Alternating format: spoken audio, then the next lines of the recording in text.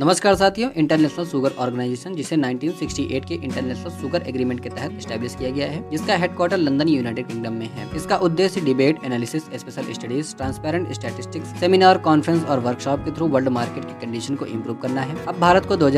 में international sugar organization को head करने के लिए नामित किया गया है तो चलिए शुगर आरोप भारत की पोजिशन देख लेते हैं भारत विश्व में शुगर का लार्जेस्ट कंज्यूमर और सेकंड लार्जेस्ट प्रोड्यूसर है भारत का शुगर ट्रेंड ग्लोबल मार्केट में पंद्रह परसेंट शुगर कंजम्पशन और बीस शुगर प्रोडक्शन को अफेक्ट करता है इसी के साथ भारत यूएसए और ब्राजील के बाद वर्ल्ड में third largest ethanol producing country है साथ ही भारत ईस्टर्न हेमिस्फेयर और ब्राजील वेस्टर्न हेमिस्फेयर में शुगर प्रोडक्शन के लीडर है ध्यान देने योग्य बात यह है की भारत इथेनॉल ब्लेंडिंग में दो हजार में पाँच प्रतिशत दो में बारह प्रतिशत तथा दो में बीस प्रतिशत होने की संभावना है अंत में शुगर ग्रोथ के लिए जियोग्राफिकल कंडीशन देख लेते हैं शुगर प्रोडक्शन के लिए इक्कीस ऐसी सत्ताईस डिग्री टेम्परेचर के साथ हॉट और हमिड क्लाइमेट तथा पचहत्तर ऐसी सौ सेंटीमीटर रेनफॉल और डीप रिच लोमी सॉइल का होना आवश्यक है